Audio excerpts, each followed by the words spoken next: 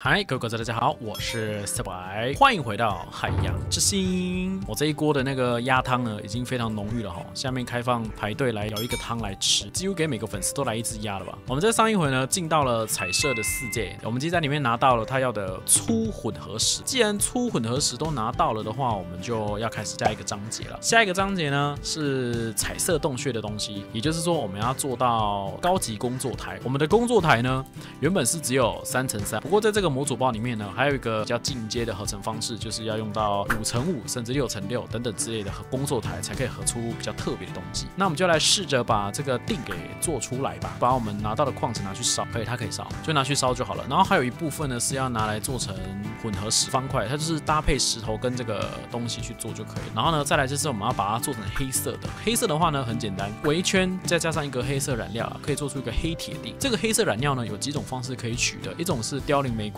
我们刚好有，然后还有其他种类似打墨鱼或鱿鱼的东西，那类我就算了，我们直接用种的不是比较快吗？我们还可以生产很多的漏斗，这漏斗多么方便，对不对？哦，它用灵魂沙哎，所以不行。我想说用有机覆盖会比较快一点，拿这个来种吧。啊，其实隔壁就有一个了，那就这样子就会成长了吧。有凋零玫瑰已经在里面种了，也可以用砧板切，切切又变两个哦，用刀子切又变两个。然后我们要把拿到了那个锭围一圈，然后就可以做出黑铁锭。这就是我们的新的开张中的最重要的一个矿物，也就是黑铁锭。没有记错的话，它应该是没办法做成种子。对，这点非常可惜。把黑铁锭拿去压，它就会变成铁板了。我们可以先尝试先做出一个基础工作台，这是第一阶段。然后呢，它还有高级以及精英。我觉得精英我看过材料之后，应该是比较繁琐一点我们还需要做出流明锭，它需要用到银粉、银锭锡跟荧光粉。诶，那还好啊，我们其实都有，可以把它做出来，应该是可以直接升级到最高级。升级最高级没啥难度，目前对我们这些资源都用种出来的人来说，非常的简单。铁齿轮、铁黑板、硬化，这个是最麻烦的了。它需要的材料就是比较繁琐，有的没的形状啊，这些就比较繁琐一点。有了基础合成组件，黑铁框架需要很多的铁板跟机器框架，这个黑板好像要蛮多的。我们的那个凋零玫瑰种的速度需要等一下，因为它这个速度非常的慢，而且我们的这个混合石锭呢，也不是说无限的，会不会要全部拿去烧啊？其实这些粗铁锭应该都直接拿去烧吧。机器框架有了，基础工作台这东西很特别啊，不就什么意思？啊，不就跟一般的合成台一样？我花了那么多材料做，然后挤出一个看起来很没用的东西。流明精华的话，是因为这个东西吧？它主要能够生产的地方只有高级合成里面，是不是？好了，我们来做做看好了。流明精华需要的材料是红石、火药跟荧光粉。火药的话，感觉要去收集苦力怕。我们的那个地底下是有蛮多怪的啦，我们可以收集苦力怕的种子，把它变成灵魂。嗯哼，有点尴尬的位置。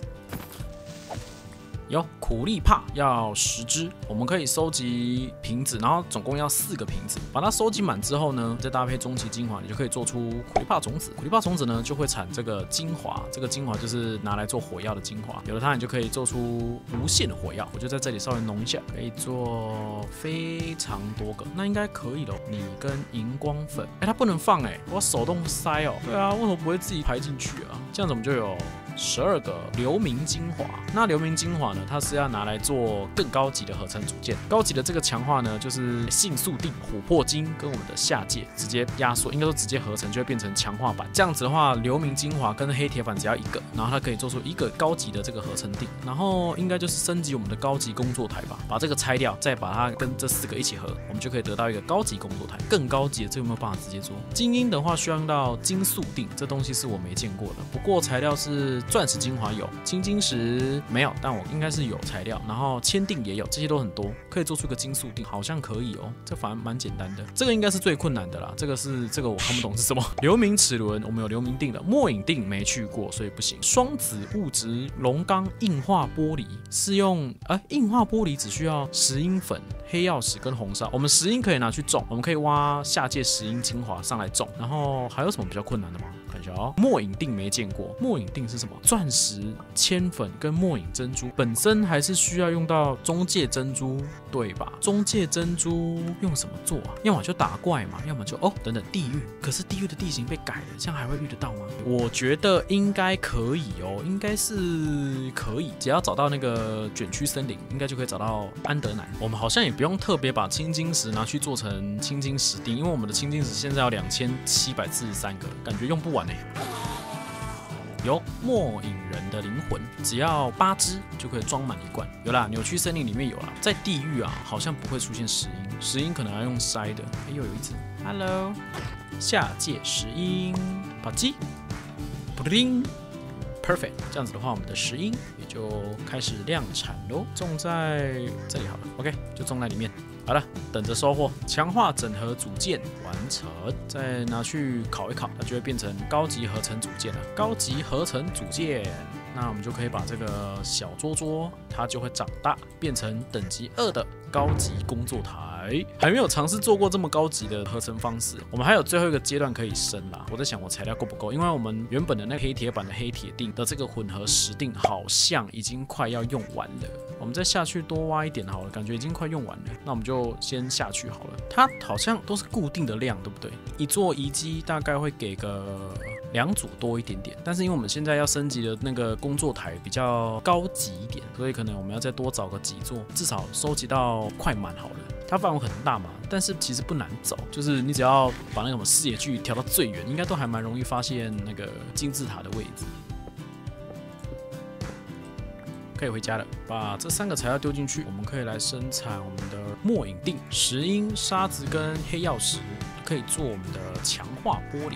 主要是我们要来做这个比较高级的整合组件，需要两个玻璃。其他的末影锭也在做了，流明齿轮也做了。再来就是我们的这个强化，那我们应该可以直接把它升级成最高最高的合成台。金速锭的话，是不是可以拿来做？其实我们也要提早做，因为我们需要做四个这个嘛，就先准备一下金速锭的材料。可不可以一次均分给我？有了四个金速锭，金速锭有了，我们就可以拿来升这个精英合成组件，只要四个就好。精英合成组件，这个就没有成就了。他已经不屑给我们成就了。有了精英工作台，这样就有一个这么大的格子，足足有七乘七耶。我从来没有用过这东西合成，好酷哦！这个系列呢，到这边目前为止应该就已经算结束了，就是变成说我们接下来就要开始从下一章节从这里开始，这边就是要开始做所谓的神殿万能钥匙。在这四个神殿里面呢，分别有风、土、水跟火这四个地方，然后好像是要去这个地方收集某些东西来做成眼睛吧。然后这眼睛的话呢，好像还要再把它做成